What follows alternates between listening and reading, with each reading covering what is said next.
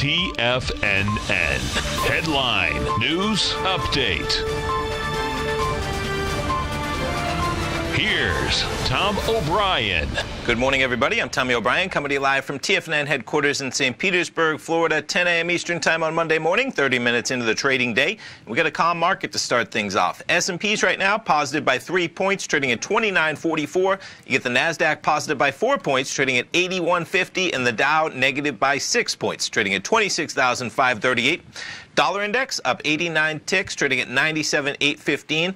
Gold trading down a bit off $7 at 1281.50. Oil off 47 cents, 62.82 in the price of crude. And notes and bonds slightly lower price and higher yield 10-year note negative 5 ticks, 123.16.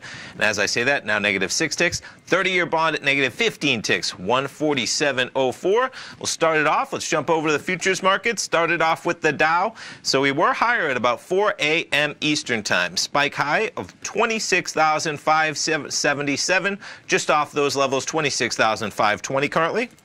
NASDAQ 100, pretty similar story. Highs overnight at about 4 a.m., 78.58. You're about 20 points off that level in the NASDAQ 100, trading 78.38. S&Ps just climbed above that high, actually. We spiked to 29.46. 10 minutes before 10, we, we just get over that by a point, and we're just trading 29.44 in the S&Ps. Crude oil with some volatility, 63.20, now trading 63.11 in the price of June crude. Gold contract, there's your acceleration to the downside for most of the evening. Last night, we opened up at about 1288, currently trading 1281.04, and Euro US dollar 111.51. In terms of what else you have happening out there, it was a big weekend for Disney's Avengers Endgame, shattering the box office records.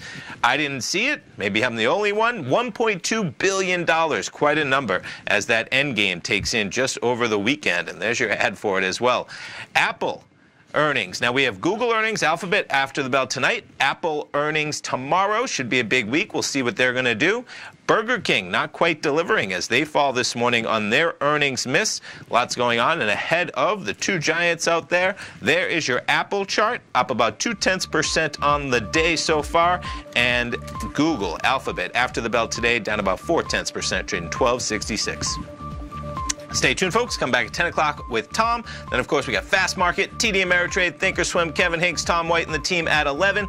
Basil Chapman at noon. Steve Rhodes at 1, Dave White at 2, and Tom O'Brien live from 3 till 5. Stay tuned, folks. Have a great Monday.